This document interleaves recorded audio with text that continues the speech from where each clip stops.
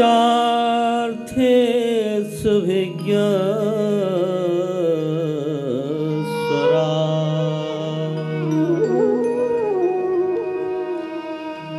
तेन ब्रह्ममुर्दायदि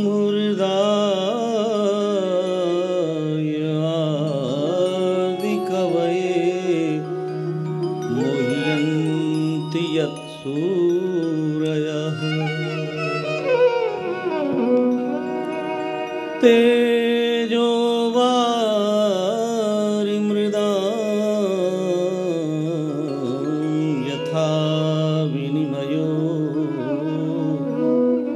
यत्र त्रिसर्गो मृषा। धाम्ना स्वेन सदा निरस्तकुहकम् सत्यं परं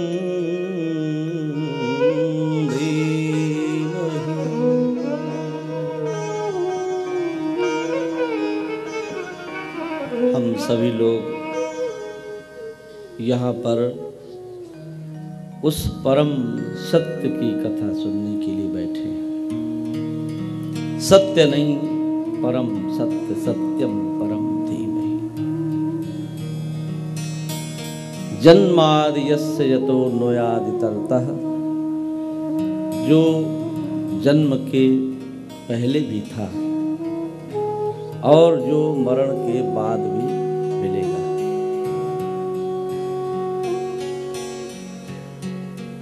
न तो हमने जन्म के पहले का देखा और न मरण के बाद का देखा। न उस ओर दिखाई पड़ता है और न इस ओर दिखाई पड़ता है। तो ये जो बीच का है, इसे ही हमने सत्य मान। किंतु सच्चाई ये है कि ये भी हमारी आँखों के सामने हर दिन क्षीण हो रहा है। जब कोई चीज़ हमसे धीरे धीरे दूर जा रही है, हमारी आँखों के सामने ही क्षीण हो रहा है।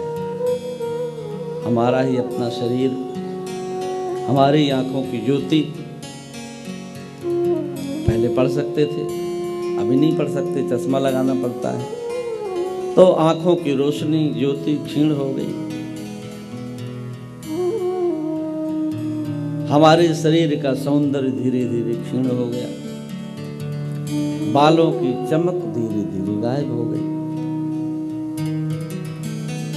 तो निश्चित रूप से जब हमारी आँखों के सामने ही, हमसे ही हमारी चीज़, जिसे हमने अपना माना हुआ है वो धीरे धीरे लुट रहा है, मिट रहा है। तो ऐसी अवस्था में निश्चित रूप से हमें ये तो खोज करना पड़ेगा कि फिर वह सत्य क्या है। जिसे हम अपना मान कर बैठे थे, वह हमसे दूर चला गया है। तो फिर हमारा अपना कौन है? जन्मादि यस्य तो नोयादि तरतः चार थे से स्वराट और इसीलिए भगवान शंकराचार्य ने कहा, अंगम गलितम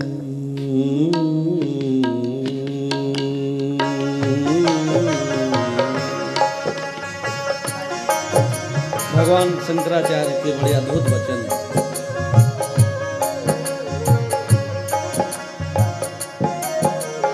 अङ्गं गलितम् अङ्गं गलितं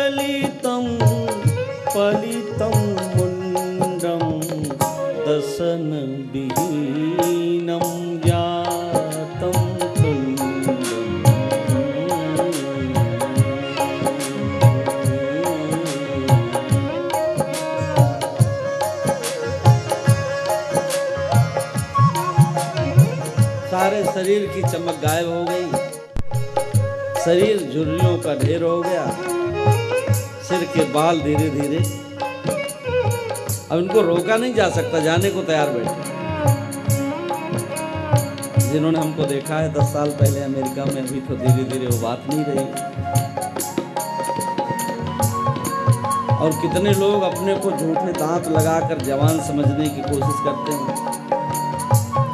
और कितने लोग ऐसे मिलते हैं बोले अब अगर वास्तव हमारे बाल कभी सफ़ेद हो जाए रातों रात तो हम शीशे में अपने को खुद नहीं पहचान सकते कि हम कौन हैं। हम्म? क्योंकि जैसे ही दो चार सफ़ेद होने शुरू हुए तो धीरे धीरे कलर करना शुरू कर दिया। तो अपनी ही असली तस्वीर हमसे जुदा हो जुदा हो।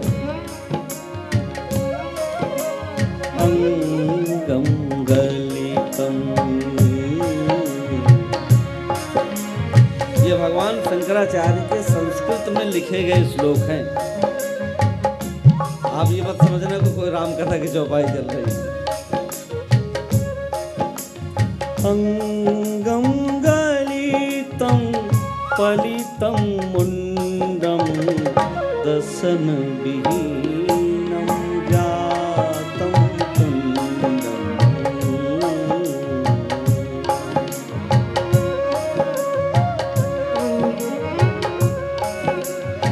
सब विदा हो गया। और तब बोले, महाराज, अब ऊपर आपने भोजन की व्यवस्था रख दी, लेकिन हम तो जा नहीं सकते। हैं? अब तो हम चल नहीं सकते। कोई इंतज़ाम कीजिए, कोई लिफ्ट लगाइए। अब यहाँ दो मंजिल में कौन लिफ्ट लगाए? हैं? हमको भोजन कमरे में चाहिए। कभी सोचा था ऐसा होगा? और जो लोग आज तक उछलते हुए चले जा रहे हैं, कभी सोच सकेंगे कि अगली बार जब आए तो हो सकता ना चल सके। और वो भी कहेंगे महाराज, मेरी भी व्यवस्था कीजिए। तब क्या हो गया? वृद्धोयापि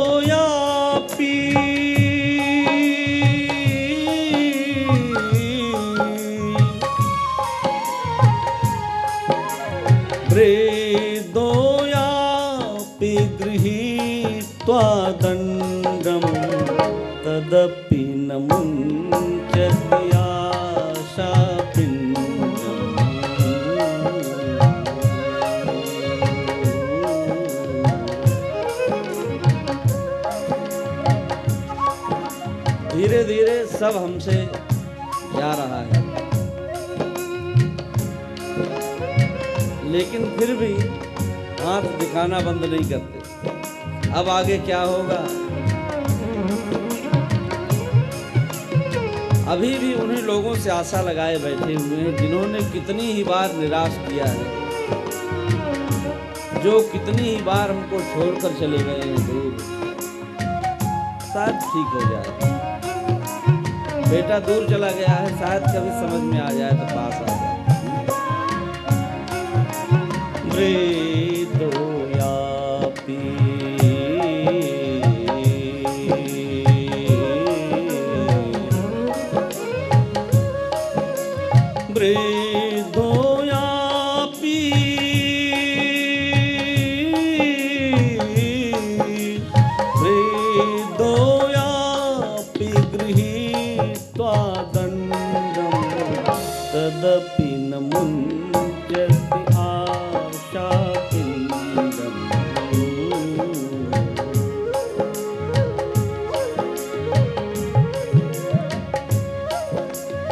भगवान शंकराचार्य ने कहा कि अब सब तुमसे दूर होता जा रहा है धीरे धीरे और तुम स्वयं इसको देख रहे हो और अनुभव कर रहे हो।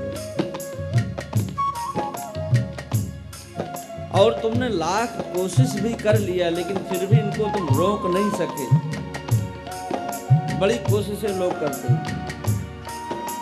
ठीक है, बहुत करोगे तो दो पाँच साल और खिसका सकते हो? इससे ज़्यादा तो नहीं। तो इसलिए भगवान शंकराचार्य ने कहा कि अब इसके चक्कर में ज़्यादा मत पड़ो। संप्राप्ते